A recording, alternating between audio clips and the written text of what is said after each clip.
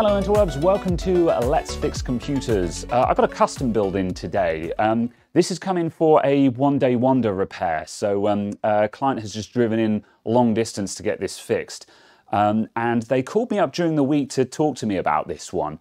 And the problem with this computer is uh, it's one of the front USB ports doesn't work because the, it has a broken pin on the USB 3.0 header.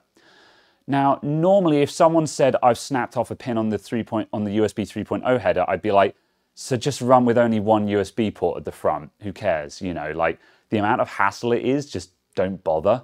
Um, however, this thing has a ROG Maximus 11 in it. It's an expensive motherboard. This motherboard is like 400, 450 pounds, that kind of money. So that's probably closer to $500 for the US peeps. And so you know, for a $500 motherboard, it's like, uh, actually, it would be a bit of a shame to leave that broken. So what I'm going to do, uh, we're going to take this thing apart, get the motherboard out, and we're going to do a single pin replacement on that header. Now, I don't think this repair is going to be particularly difficult. I've done a quick test run to remove a pin from a donor motherboard so I could check what I was up against before we got to work on this one. And it wasn't super difficult. The hardest bit is just removing the plastic bit from around the header. Um, so, however, we'll take it apart because then also we can look at what has happened here, look at the strain, and I can also show you what other options you've got to avoid this happening to your computer. So let's start out by taking this thing apart. Okay, so to see what we're doing in here, we've got to remove the vertical mount graphics card. So it's actually a really nice build, this one. It's got these, uh, these Cooler Master uh, combo fans in. I haven't looked up to see exactly what models they are or what they're called, but these are, uh, these are triple fans and it's a single block with three fans on it, essentially, which I think is super cool. It just has single connector for uh, power and a single connector for RGB, which is kind of rad. And the vertical mount graphics card, that's a Cooler Master mount as well. So we'll just ease him out just enough to get to the power connectors.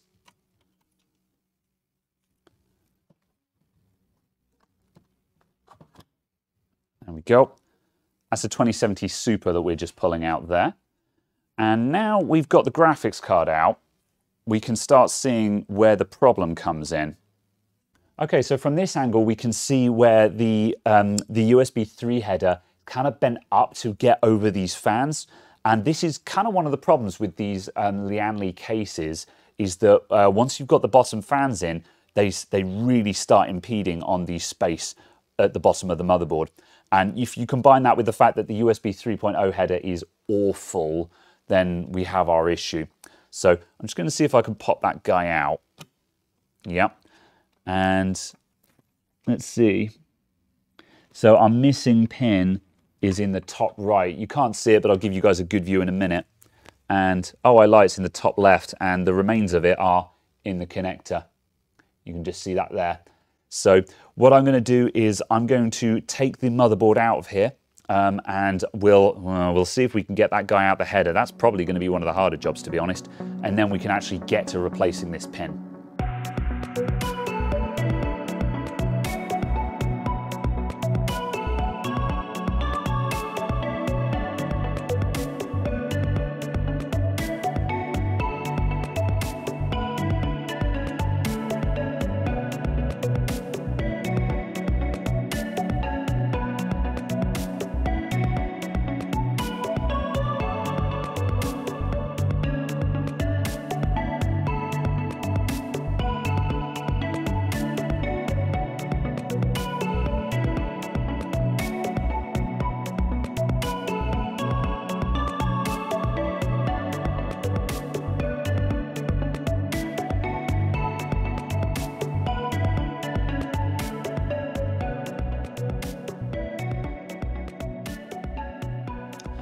Okay, right, we've got the motherboard out. And so now, as you can see here, um, we've got the top right pin is the natively missing pin. There's always a missing pin there for keying anyway. This top left one, that's the guy that's actually snapped off. So there's the, the remains of it at the bottom.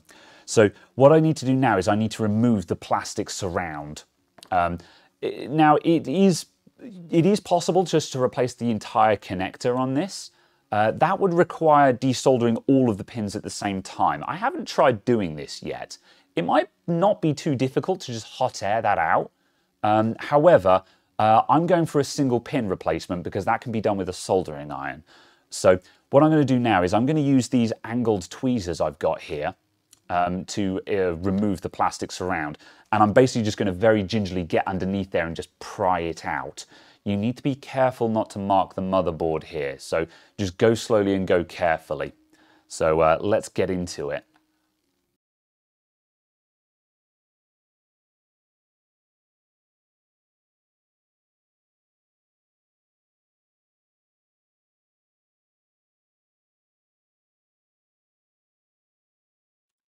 Easy peasy. That was a lot easier than my practice board was. Okay, so next I'm just going to put just a little bit of fresh solder on the back of the pin that we're removing because that's going to lower the melting point of the solder and make it easier to remove. So let's get this lined up where you can see it and we're just going to put a little bit of solder on that boy just so he flows. That's it. That's all we need to do. And now I'm just going to balance the board upright. And with my left hand, I'm going to hold on to that pin with the tweezers. And with my right hand, I'm just going to reheat that pin. And there we go. That's our broken pin out. Here's my replacement pin that I've removed from my donor motherboard, which I did exactly the same as what you just saw in order to obtain. So now I'm just going to press that against the hole and with a bit of luck, if I just heat up that hole, I should be able to melt the solder in there and just push this in.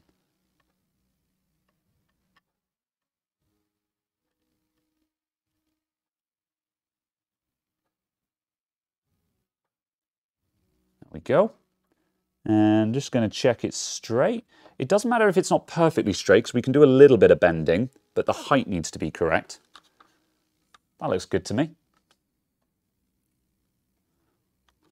And I'll just give that a bit of tweaking just to get it straight.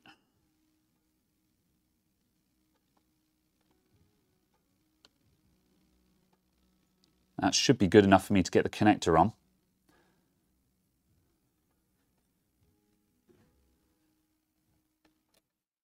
These connectors can be a bit of a pig.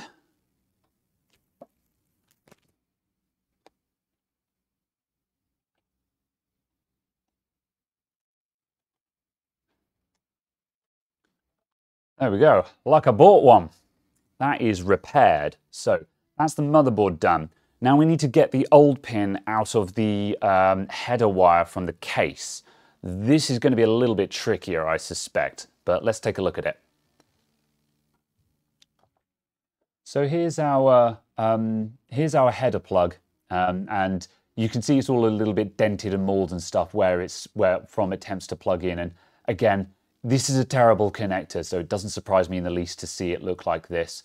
Um, but we've got to get that pin out, and as you can see, that is flush buried in there. So, um, like, there's no room to get tweezers onto that. Um, like, if I get my my angled tweezers, yeah, just there's not a hope in hell of even grabbing hold of that.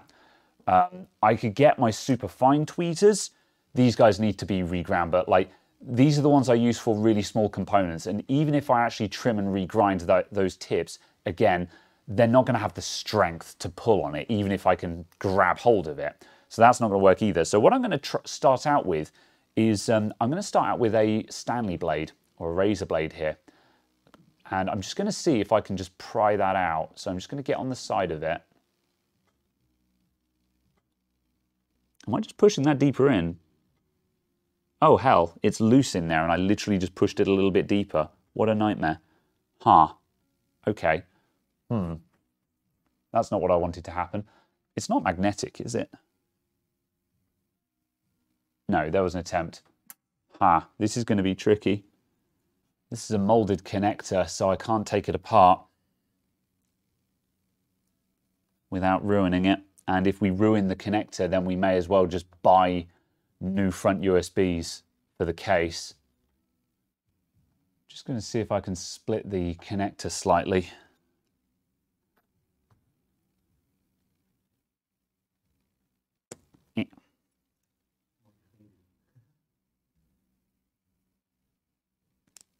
Yes, I can.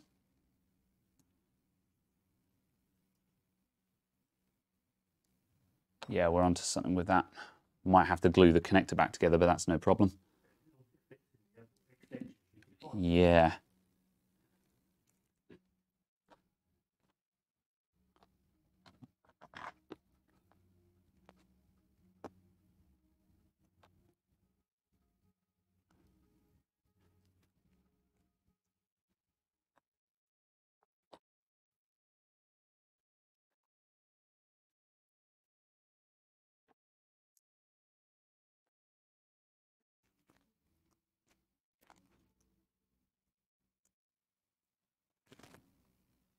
Got it. Never doubted you. I did. No, I didn't. Well, I come to see you. All right, so we've recovered the snapped pin out of the connector. As you can see, I was kind of making that up as I went along, so I didn't give any commentary on the way in, but I've just cut the connector on the sides just so I could split it open a bit. And we just, we just broke the housing ever so slightly, which actually gave me access to the back of the pin chamber. And then I was able to take this other pin here and just push it through and get it out from behind. So don't know if anyone else would be so lucky as, as we just got there, but uh, don't know. Hopefully it'll give you ideas. What I'll do now is I'll just get some super glue and we'll just super glue that shut again, stick a clamp on it, and that'll be right as rain.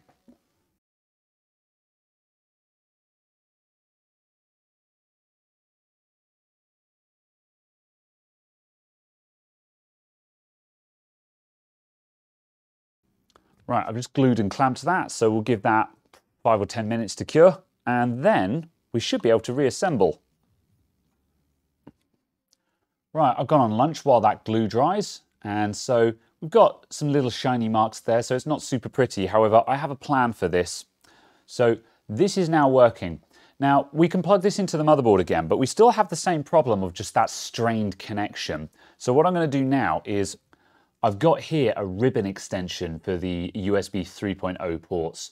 Uh, I alluded to one of these uh, when I was reviewing the LANCool 2 that I have, but I couldn't find these for love nor money. And literally the morning after I shot that video, I found them.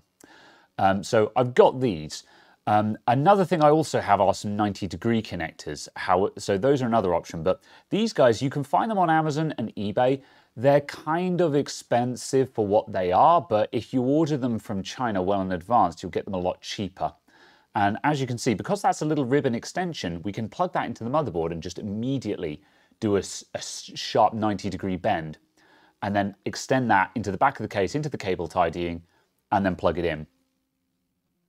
And that will then mean that um, A, we don't care if this plug looks a little scruffy because we'll be going up to this extension, and B, it just means that all of that is hidden out of sight and we've got full strain relief now, and that will go up into the motherboard. So now all that's left is to rebuild the computer, so let's get to it.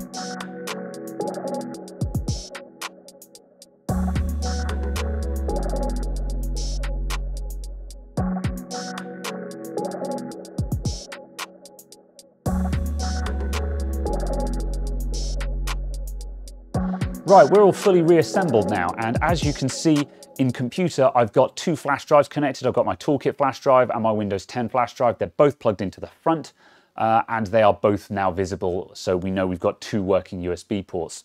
Uh, a couple of things of note. First of all, when I put on the plastic surround for the pins, the, the shroud, the clip, I don't know what you call it, I actually put it on upside down. Um, so if you've been screaming at the screen, yeah, I found that as well. We initially plugged it in and it was saying there's an error with this USB device. And we were like, uh-oh. Uh, however, Uh, we spotted it, we put it the right way up, now it's working. We also had one more issue as well uh, with the first extension that we used. Uh, the first extension that I used, uh, this one, only one of the ports was working on it. However, I switched out to the other one that I had in the two pack and that one worked just fine.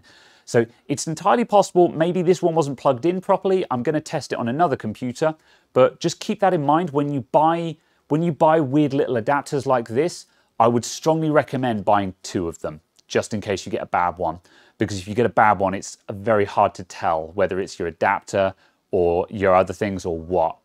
Either way, we're all fully fixed now. So that's it for this video. Uh, as always, my support links will be in the description down below for the Twitter, the Patreon, the Discord, and also my Instagram. Or stick around for the end card, and I'll see you in the next video. Thanks a lot and goodbye.